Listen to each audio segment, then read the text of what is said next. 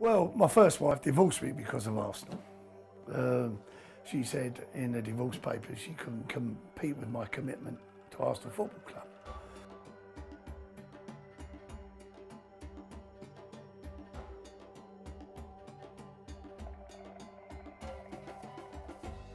My dad would have killed me if I didn't support the club he supported.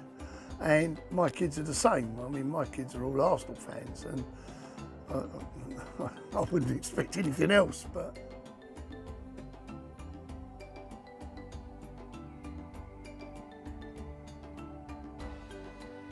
Well, it's, it's insured for, uh, for 350,000.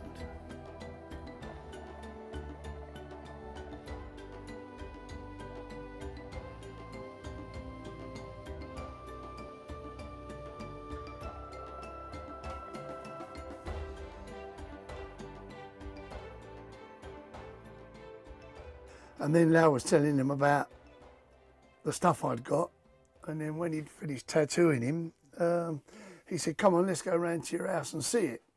So he came round and oh, he was there two or three hours looking at it all and asking questions. And that was sort of how the relationship started. And then, as I say, the first season he scored 30 odd goals for us.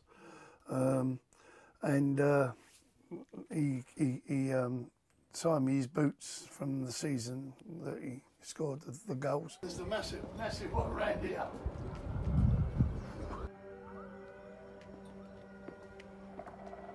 Shipped over Yeah. from Pennsylvania.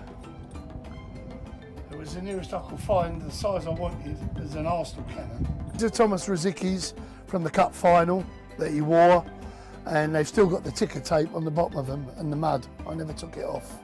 These, these were the boots Jack gave me when Archie was born. He signed them to me.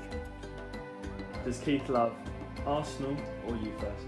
Arsenal, Is it even close? 200%. Arsenal. I'm second. Oh, that's lovely.